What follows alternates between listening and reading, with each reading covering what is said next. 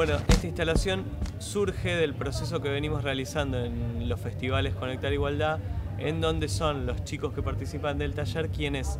eh, a través del aprendizaje del Audacity, que es un programa de edición de sonido que tienen las netbooks, eh, graban, editan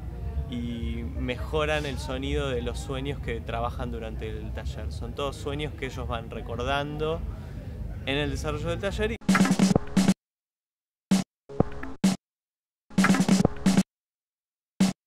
Del lenguaje, o sea, estamos hablando primero del lenguaje sonoro,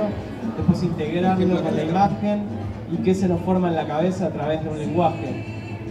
Y también poder como dar cuenta de la riqueza del sonido que muchas veces lo dejamos de lado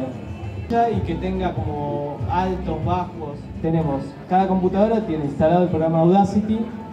que les voy a pedir que miren en el escritorio, hay un icono que se llama Audacity, ahí lo pueden ver en pantalla también. Carpetas los sonidos que hay y de acuerdo a lo que quieran contar, busquen algunos de los sonidos, escuchen, fíjense cuáles le van a servir para su relato y esos sonidos luego vamos a ver cómo se vuelcan adentro del programa y cómo se eh, editan y eh, modifican. Muy buena y donde puedes usar mucho tu imaginación también con los sonidos, crear muchas cosas extrañas, películas, como decían con un PowerPoint, cualquier cosa. La cuestión es que está bueno usar la imaginación un rato